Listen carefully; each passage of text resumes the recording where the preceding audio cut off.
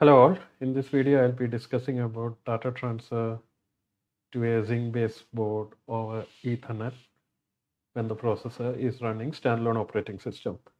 If you are running Linux, there is direct support for uh, Ethernet. You don't have to worry about anything. But standalone, we may have to use an additional library for uh, doing it.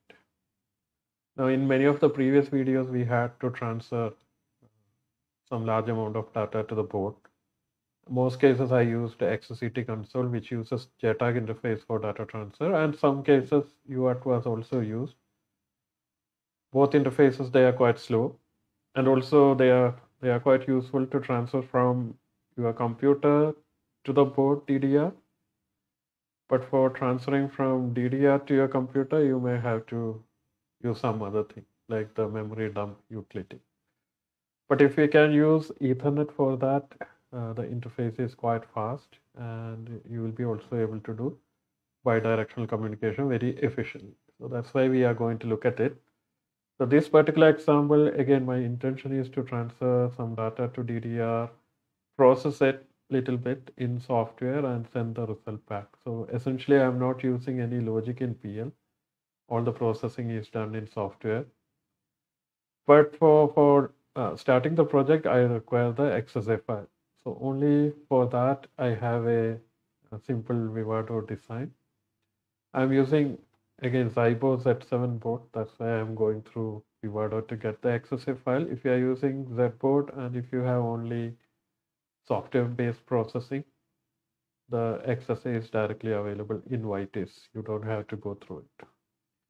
Anyway, so here I have generated a, a, small processor and I simply connected the clocks here and I have exported my XSA and I already have my XSA file here. And now I will start with my Vitis project. So as usual, we start as a application project and like I said before, if you are using that or any of these uh, development boards, you can directly choose it from here provided you don't have any logic in your PL part. So I'll use my XSA file here.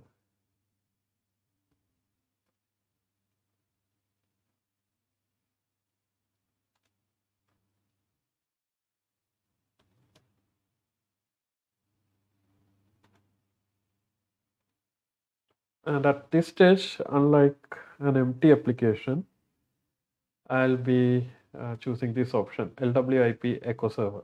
Okay, so this LWIP it's a library uh, which is used for lightweight internet protocol communication. So we'll be using this library for Ethernet communication.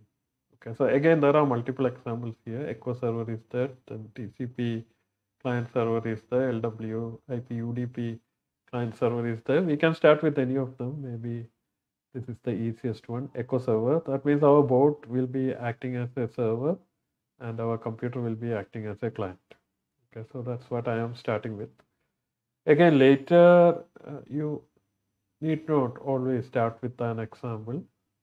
Once you get an idea how to do it we'll be able to add this library from our bsp and you should be directly added to your project. Okay but this might be the best place to start this with uh, when you connect your computer to the FPGA board, again, you have two options. You may use an Ethernet cable and do a point-to-point -point connection between your computer and the board, or you can connect through a switch. In my case, I am using a point-to-point -point connection. So that will have some implication depending upon how you connect it. Uh, whether you need to do some IP configuration in your computer or not, it depends. So in my case, it is point-to-point -point connection. Okay, I don't have any switch in between. Okay, so we'll finish it. Now, while it brings the uh, source code up, we will discuss the IP related thing, IP address basically. So in this example code, what happens when the system starts up, uh, it will be doing a DHCP, Dynamic Host Configuration Protocol.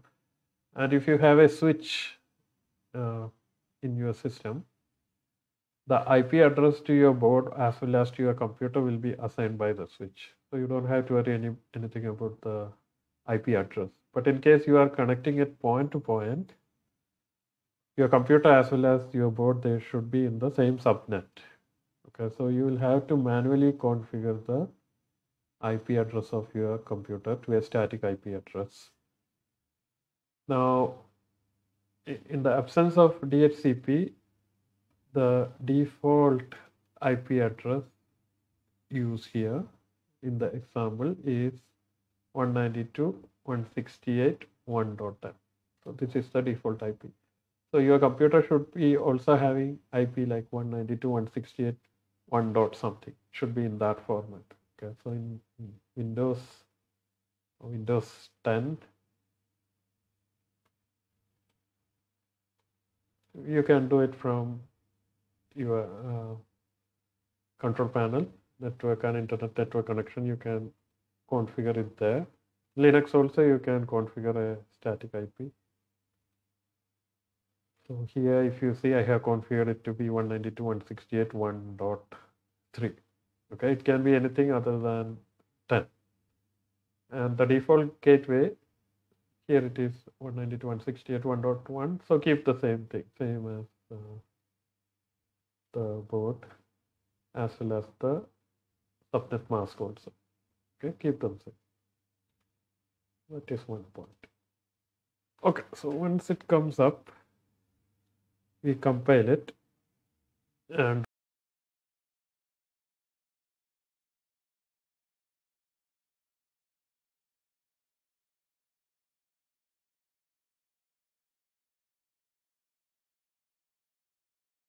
configuration here. And in the settings uh, again I don't have any PL logic so it is fine to reset the entire system no issue with that. And we run it. So on the terminal you can see what is going to happen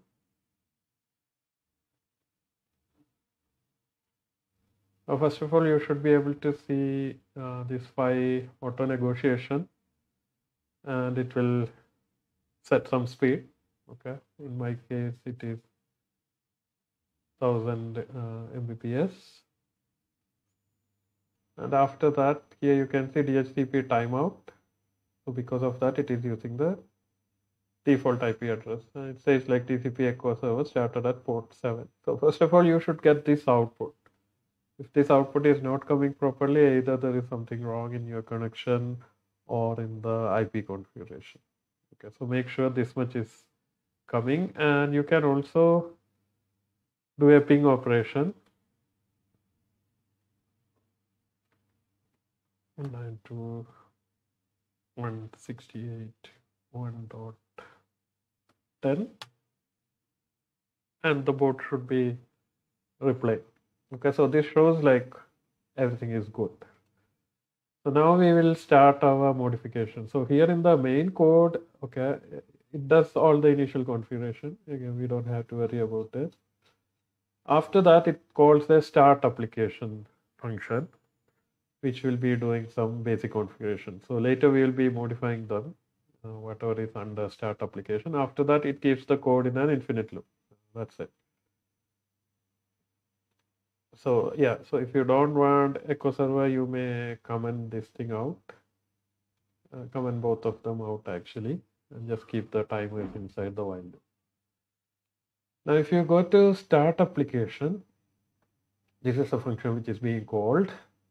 So there it creates uh, similar to our port programming it creates a structure which is representing a TCP connection.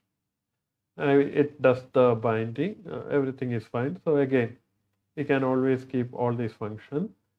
Now here, you will see a function called the TCP accept and PCB accept callback. Again, the first one is the uh, structure pointer, which is representing the connection or the IP type, we can say. The second one is a callback function. It is similar to an interrupt service routine. So this interrupt service routine will be called whenever our server accepts a new client from the new connection from the client. In our case, server is the FPGA board, client is my computer. So whenever it accepts a new TCP IP connection from my computer, this function will be called. Okay, so at, uh, at, the, at the initialization, start application is being called. So it will directly come here and it will execute this function. Then it is printing TCP echo server started at port 7, print you are seeing here. So inside this function, if you see, it is basically uh, has a variable to count the number of connections. Again, not very interesting. Uh, here you will see another function, TCP receive. Okay, so this is important. So this function call basically links again the connection with the receive callback. So receive callback is again another callback function similar to a interrupt service routine, which will be called whenever the server receives some data or some packets from the client. So this function basically hooks the callback function with the connection. So whenever some data is received from the client, this function will be automatically called. And again, since this is an echo server, you can see what is happening in receive callback. So yeah, receive callback is called whenever some packet is received. First of all, it, it, it makes sure like whatever received is a valid packet. It is not a null packet.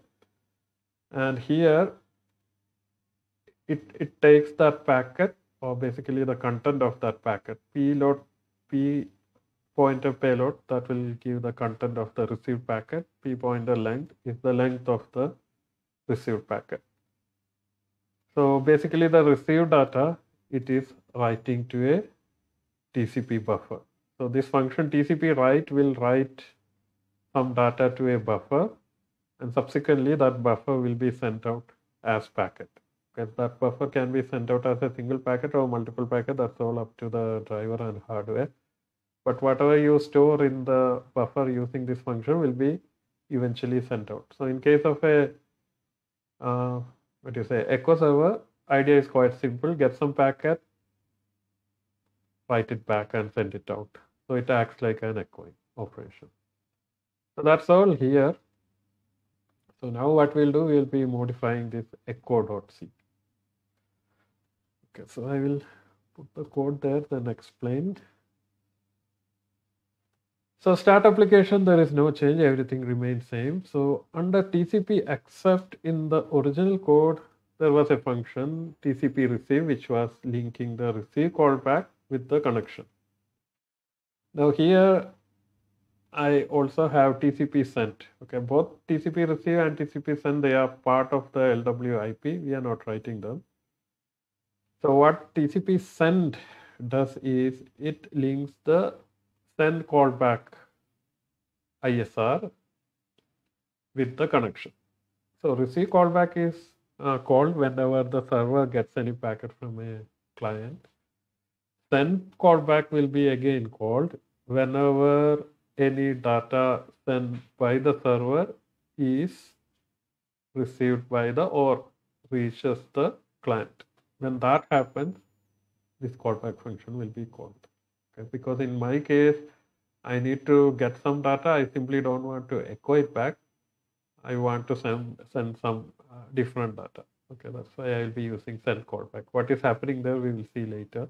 So this is the only change here, addition of this function.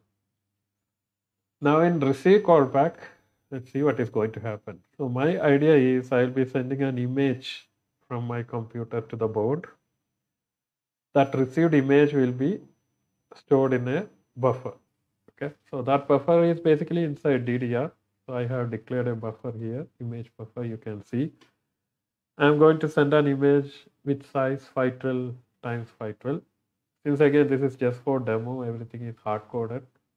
You can parameterize it or you can even use dynamic memory allocation. No issue with that. So whatever image I am going to receive, I will be initially storing it in this buffer. Again, I won't be getting the entire image in a single packet. It will be coming over multiple packets. So as I get packets, I will be filling this buffer. Once I get the entire image, I'll be doing some image processing. So the processing I am doing is quite simple. Find the negative of the image. Take each pixel from the image, subtract it from 255. That's the operation I'm doing. Now that processed image will be stored in a different buffer here, which is called this processed image buffer. And once I process the entire image, I'll be sending this processed image back to my client. Okay, that's the basic idea. So in receive callback function, uh, here you can see till here everything is same as the original code.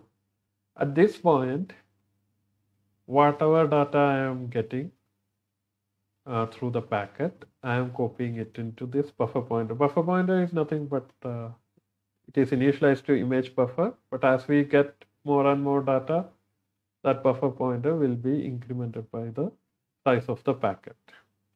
Same way, I have another variable called i, which is keeping track of how much data I have received. Again, declared as static so that uh, it doesn't get initialized to zero each time we get a new packet. Okay, so whenever I get a new packet, I will be incremented by the size of the packet.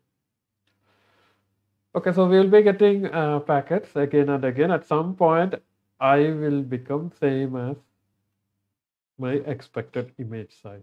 So once it becomes same as my expected image size, here you can see I take uh, pixel by pixel from the image buffer, subtract it from 255 and store it in the processed image buffer. And simply will print like image received, image processed once it receives and processes the image.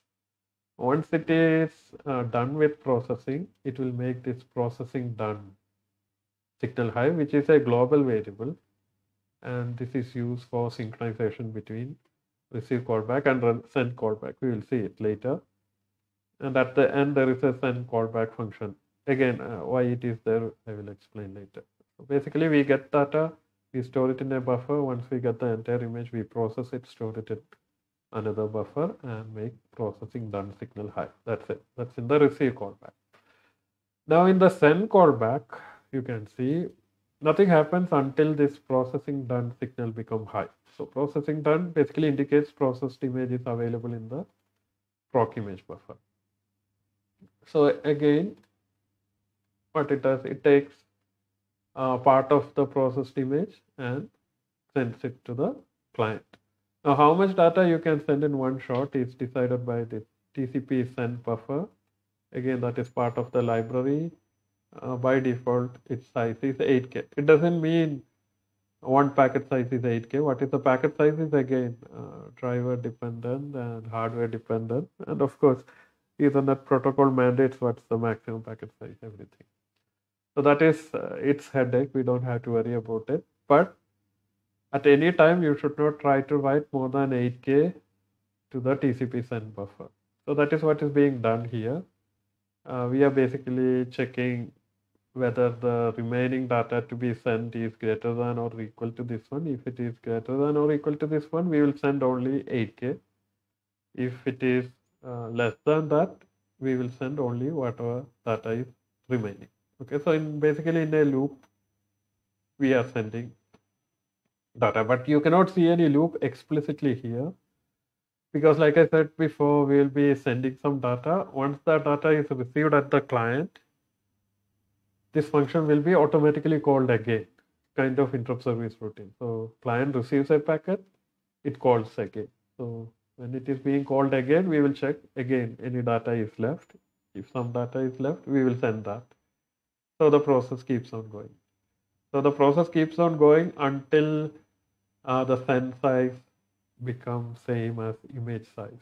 So once that happens, that means we have sent the entire image. It will simply print processed image send and it will make this processing done signal back to zero. Okay, so that's how the synchronization happens between send callback and receive callback. It makes it zero, send size back to zero, and initialize the buffer pointer to the beginning of the processed image buffer. Now, only catch here is the send callback function is called only when our client receives some data, right? So how does it receive the first packet? Because here we have a chick- chicken and egg problem. We are sending data only when send callback is called. And uh, without sending the first data, nobody is going to call this. Okay, so we need to somehow force the first data packet out.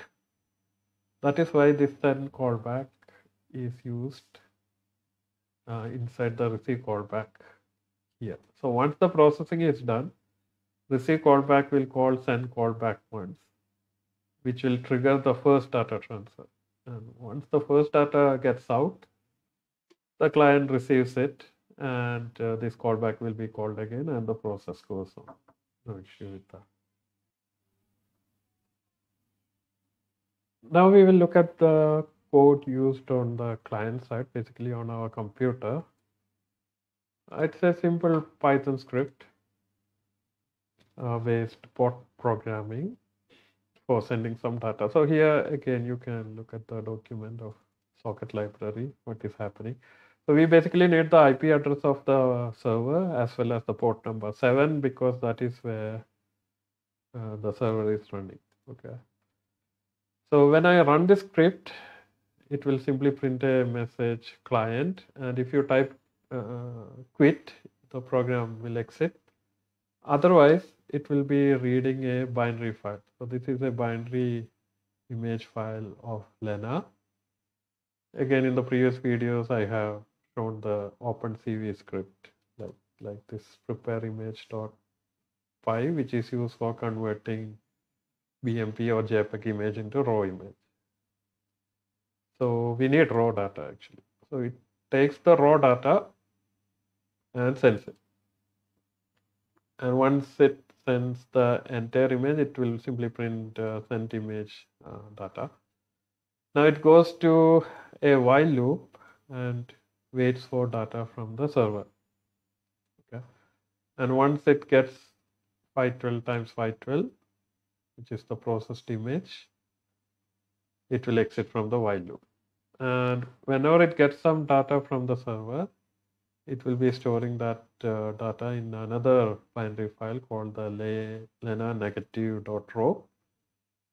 And once it finishes receiving it, we can run another OpenCV script here, which will take that raw image and display it to us. That's the basic idea. Okay, so we will test it. I have recompiled my code.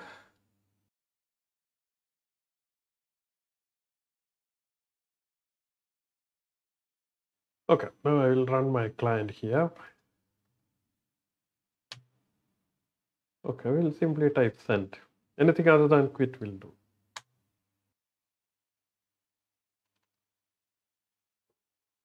Okay, I haven't generated the raw file yet.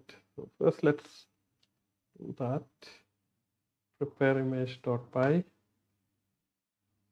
Now I have the raw image. Okay, so we will run again. Client.py. Okay, send.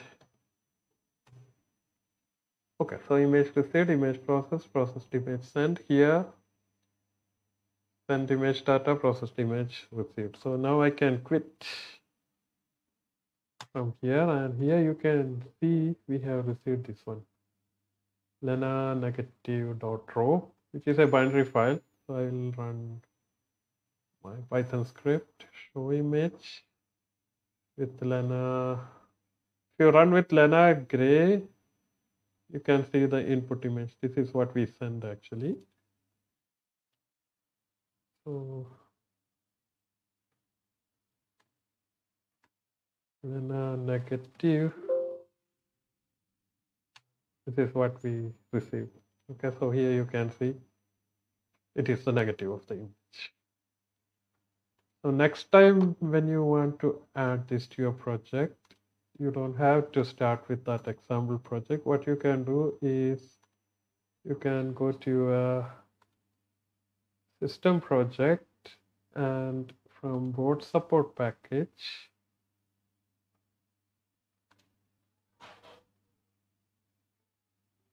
you can enable LWIP. Here it is enabled by default because we started with an example project. Otherwise, you can simply enable it and it will add all the required header file.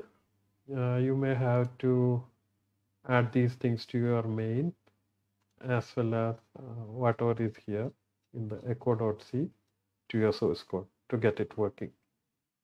Again, almost every Z board the Ethernet connection by default is to the PS part. Okay, so whatever I discussed is applicable when you want to connect with the Ethernet controller in the PS. There are very few boards where an Ethernet connection is available to PL also. There also you may use LWIP, but we might have to make certain modification. Okay, that we can discuss in another video how to do it with the PL Ethernet connection. Okay, thank you.